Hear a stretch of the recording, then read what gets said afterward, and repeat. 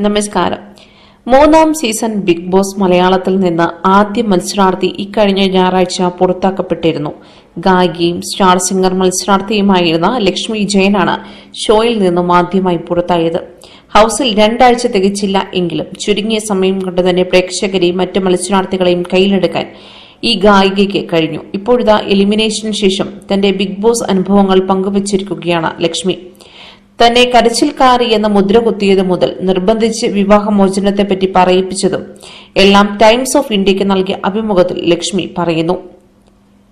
ഞാൻ തിരിച്ചെത്തിയ ഉടൻ എന്റെ മകൻ എന്നോട് പറഞ്ഞത് അബ്ബ ഔട്ടാകണമെന്ന് ഞാൻ പ്രാർത്ഥിച്ചിരുന്നു.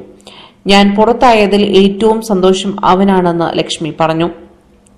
ഇപ്പോഴും താൻ ഷോയുടെ ഹാങ് ഓവറിലാണെന്നും മറ്റ് മത്സരാർത്ഥികളെയും വീടുമൊക്കെ ഇപ്പോഴും മിസ് ചെയ്യുന്നുണ്ടെന്നും ലക്ഷ്മി പറയുന്നു. ഷോയിൽ നിന്ന് ആദ്യം തന്നെ പുറത്തായതിൽ വലിയ വിഷമത്തിലാണ് ലക്ഷ്മി. നൂറ് ദിവസത്തെ തയ്യാറെടുപ്പോടെയാണ് താൻ പോയിരുന്നതെന്നും അതിനായി നല്ലൊരു തുക ചെലവഴിച്ചിരുന്നുവെന്നും അവർ പറയുന്നു. ജീവിതത്തിലെ ഏറ്റവും വലിയൊരു അവസരം തന്നെയായിരുന്നു ഇത്. എന്നാൽ അത് കയ്യിലെത്തും മുൻപേ പോയതുപോലെ തോന്നുന്നു. എന്നെ പ്രതീക്ഷയോടെ പുറത്തുവിട്ടവരെ നിരാശപ്പെടുത്തിയതുപോലെ തോന്നുന്നു. ഞാൻ കുറച്ച് ക്യൂട്ട് ആയിരുന്നെങ്കിലോ പുറത്ത് കുറച്ചുകൂടി സപ്പോർട്ട് ഉണ്ടായിരുന്നു എങ്കിലോ ചിലപ്പോൾ ഞാൻ കുറച്ചുകൂടി നിൽക്കുമായിരുന്നുവെന്നും ലക്ഷ്മി പറയുന്നു. ബിഗ് ബോസ് മത്സരത്തിനിടയിൽ ലക്ഷ്മി നേരിട്ട ഏറ്റവും വലിയ വിമർശനം അവരുടെ ഇമോഷണൽ സ്വഭാവം തന്നെയായിരുന്നു. എന്തിനും ഏതിനുമുള്ള കരച്ചിൽ ഫേക്കാണെന്നാണ് കൂടെയുള്ള മത്സരാർത്ഥികൾ തന്നെ ലക്ഷ്മിയെ കുറ്റപ്പെടുത്തിയത്. ഞാൻ ഒരിക്കലും ആരെങ്കിലും എന്നെ ഇൻസൾട്ട് ചെയ്തെന്നോ കോർണർ ചെയ്തെന്നോ പറഞ്ഞ് കരഞ്ഞിട്ടില്ല. ഞാൻ എന്റെ പേഴ്സണൽ പ്രശ്നങ്ങൾ കാരണമാണ് കരഞ്ഞത്. മകനെയും അമ്മയും തനിയെ വിട്ടിട്ടാണ് ഞാൻ ഷോയിലേക്ക് പോകുന്നത്. കുടുംബത്തിലെ എല്ലാ ചിലവുകളും നോക്കിയിരുന്നത് ഞാനാണ്. അതുകൊണ്ട് അവരെക്കുറിച്ചുള്ള ചിന്തകളായിരുന്നു. ഞാൻ എപ്പോഴും ഓർത്തിരുന്നത്. പ്രത്യേകിച്ച് എന്റെ മകന്റെ കാര്യം ഓർക്കുമ്പോൾ അവനെ ഓർക്കുമ്പോഴൊക്കെ ഷോയ്ക്ക് കയറും മുൻപും അവനുമായി നടത്തിയ വീഡിയോ കോൾ ആണ് എന്റെ മനസ്സിൽ അബ്ബ എന്നെ ഇനി വിളിക്കില്ലല്ലേ? എന്ന് ചോദിക്കുന്ന അവന്റെ മുഖം. അതെ എന്റെ പ്രിയപ്പെട്ടവരെ പറ്റി പറയുമ്പോൾ ഞാൻ കരയുമെന്ന് ലക്ഷ്മി പറയുന്നു. കരച്ചിലിന് പുറമെ ലക്ഷ്മി നേരിട്ട മറ്റൊരു ആരോപണമാണ്. അവർ ഒരു മടിച്ചിയാണ് വീട്ടിലെ ജോലികളൊന്നും ചെയ്യുന്നില്ല എന്നത്. എന്നാൽ ഈ ആരോപണം പാടെ നിരസിക്കുകയാണ് ലക്ഷ്മി. ഷോയിലേക്ക് പോകും മുൻപേ ഞാൻ ഒരു മടിച്ചു തന്നെയായിരുന്നു. അത് ഞാൻ പലയിടത്തും പറയുകയും ചെയ്തു. എന്നാൽ അവിടെ ചെന്നിട്ട് ഒരു ജോലിയിലും ഞാൻ അത് കാണിച്ചിട്ടില്ല. പുതിയ ഓരോ കാര്യങ്ങൾ ആഗ്രഹത്തോടെ പഠിക്കുകയായിരുന്നു ഞാൻ. ശരിയാണ് ഒരു ദിവസം ഡയറിയ കാരണം ഞാൻ റെസ്റ്റ് എടുത്തിരുന്നു. പക്ഷേ അപ്പോഴും ഞാൻ എന്റെ ജോലികളിൽ നിന്ന് മാറി നിന്നില്ല.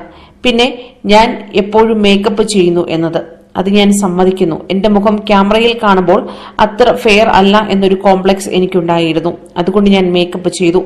പക്ഷെ അത് കാരണം ഞാൻ എന്റെ ജോലികളൊന്നും മാറ്റിവെച്ചിട്ടില്ല എന്നും ലക്ഷ്മി പറയുന്നു. ബിഗ് ബോസ് കാലയളവിൽ തന്നിൽ നിന്ന് വന്നുപോയ ഒരു വാചകം വളരെ ശ്രദ്ധ നേടിയതിനെ പറ്റിയും ലക്ഷ്മി അഭിമുഖത്തിൽ പരാമർശിച്ചു. ആരും കഴിക്കുന്ന ഭക്ഷണത്തിന്റെ കണക്കല്ല ഞാൻ അന്ന് പരാമർശിച്ചത്. എല്ലാവർക്കും വായ നീട്ടണമെങ്കിൽ കഴിക്കാൻ നല്ല ഭക്ഷണം വേണം. അതിന് പാചകം അറിയാവുന്ന ഒരാൾ കിച്ചൺ ടീമിൽ വേണം എന്ന് മാത്രമാണ് ഞാൻ ഉദ്ദേശിച്ചത്. അതാണ് വളച്ചൊടിക്കപ്പെട്ടതെന്നും ലക്ഷ്മി പറയുന്നു. ഒരിക്കലും എന്റെ വിവാഹ ജീവിതത്തെ പറ്റിയോ ഡിവോഴ്സിനെ പറ്റിയോ ഷോയിൽ പറയണമെന്ന് ഞാൻ ആഗ്രഹിച്ചിരുന്നില്ല. ഭാഗ്യലക്ഷ്മിയാണ് എന്നെ കൊണ്ട് അത് പറയിപ്പിച്ചത്. അതിനും ഞാൻ കുറെ ആരോപണങ്ങൾ നേരിട്ടു. മുൻ ഭർത്താവിനെ മകനെ കാണിക്കാത്തതിന്. അതിന് എനിക്ക് എന്റേതായ കാരണങ്ങളുണ്ട്. എന്റെ മകന് ഒരു കഠിനമായ സാഹചര്യം ഉണ്ടാക്കി കൊടുക്കാൻ ഞാൻ ഇപ്പോൾ ആഗ്രഹിക്കുന്നില്ല.